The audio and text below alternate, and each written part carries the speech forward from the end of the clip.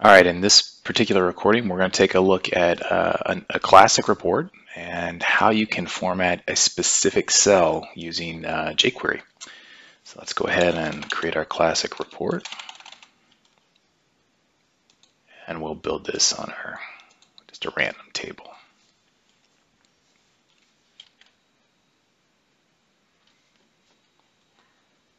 Here we can see our classic report. And one thing I'm going to do is just make sure that uh, our ID, which we'll use for the formatting, uh, is shown. So hit save. All right, and we'll run it just so you can see the preliminary look. All right, so what we're going to do in this is form, show you how to use jQuery to format um, the ID column in a custom manner, uh, however you like, based on the data inside of the column. So the first thing we're going to do is go to our test report and create a new uh, dynamic action.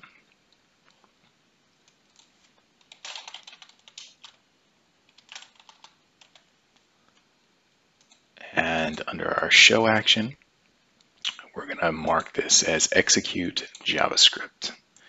The other thing we want to do is fire on initialization. All right, now um, our first code segment here is relatively simple. So we're going to output to the console log um, the color of the cells.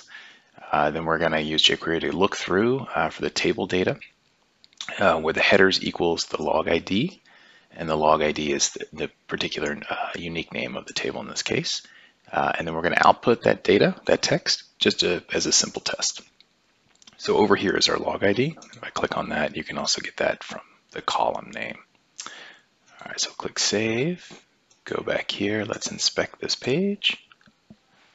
Go to Console, and if I refresh, here you can see that it outputted the values of the cells uh, on that particular page. All right, so with that particular segment, uh, the next thing we want to do if we want to style just certain cells based on data is write some CSS. So I'm going to grab this segment, we'll go back to our page, go up to the page at the top, and we'll insert some inline CSS. Now, if you're new to CSS, this is simply going to set the background color the font weight. Uh, it's going to align the text to center, change the font color to white, uh, and then set a border of, of, a light gray. And then we've got two different types of formatting based on the data. One be low and mid targets. Obviously, you could write as many of these as you want. So with that in hand, we'll go back to our JavaScript code and we'll grab our next segment of code. Now in our next segment of code, uh, we're going to simply loop through each of the rows and then apply the CSS based on the, um, the data. So once again, you can see here uh, our, our, same functionality as before, looping through the headers with for the log ID column. Only this time, uh, if the value of the column is less than 1350, uh, we're going to insert the class called low targets.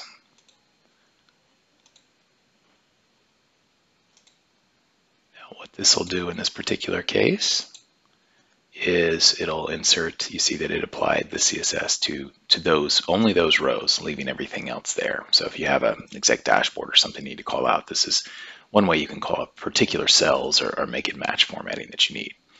All right, let's go back and we'll add some more complex logic. Um, really, this is just building uh, more if statements here, but uh, we'll grab this segment.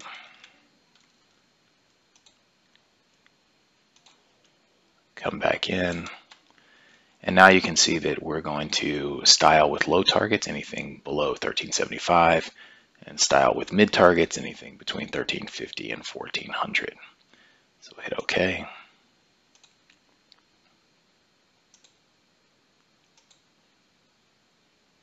And there you go. So we use this on a number of cells, but clearly you could even isolate a single cell if you want in a classic report.